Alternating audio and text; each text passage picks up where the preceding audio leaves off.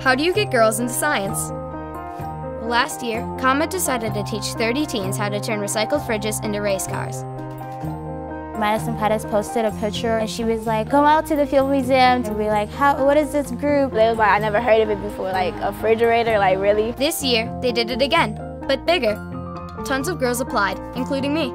For Girl Scouts, like this came across one of their web pages, like, yeah, that sounds really cool. They're like, oh, you got accepted. I was so happy. My teacher was like, are you okay? I was like, yes, I'm very okay.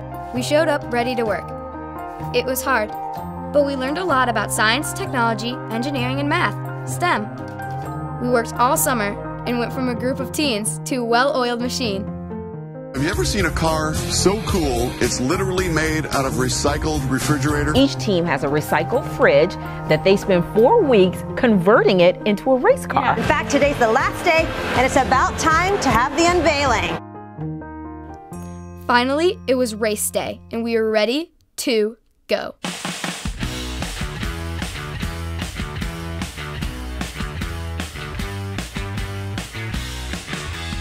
Competition was fierce, and the STEM challenges made sure we knew our stuff.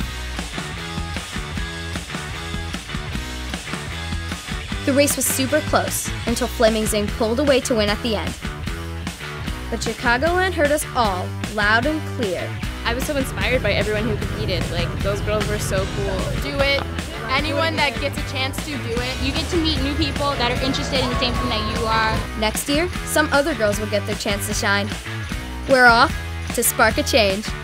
Thanks, ComEd.